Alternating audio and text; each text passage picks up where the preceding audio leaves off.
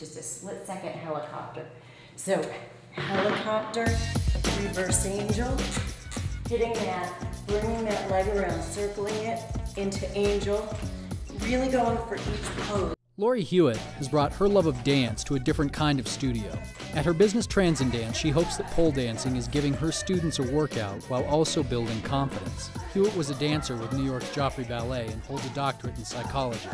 Her passion for dance and her clinical background have led her to believe that what she's teaching now can change lives. To see everyone embrace and find their own style and become stronger, and um, there's just something uh, that is, is profound about the dance and, prof and profound about um, uh, unifying that, that mind body split.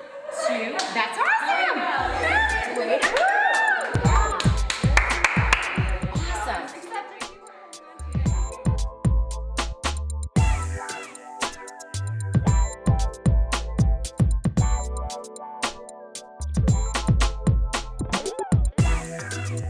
Tara Symington has been learning to pole dance for almost two years. She says she started just to try something different, but she quickly became hooked.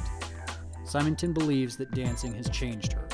It was hard for me to open up and just kind of let free. I've kind of lived a life of, you know, you work really hard, but you don't go outside those boundaries. You do everything right. And as soon as you come in here, Lori tries to get rid of that and it's hard to kind of break out of that but once you start to break out of it you kind of come more and more towards the light where as soon as you walk in here you want to be able to do whatever you can do and break out of those rigid ways and get out of your mind and just free yourself and do what you want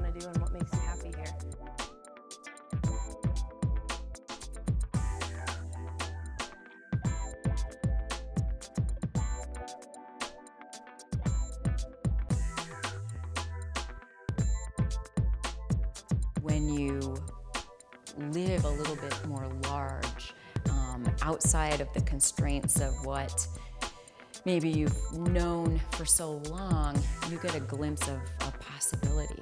We can get that anywhere, I don't care if it's bowling or golf, whatever gives us a glimpse of our higher potential is just awesome.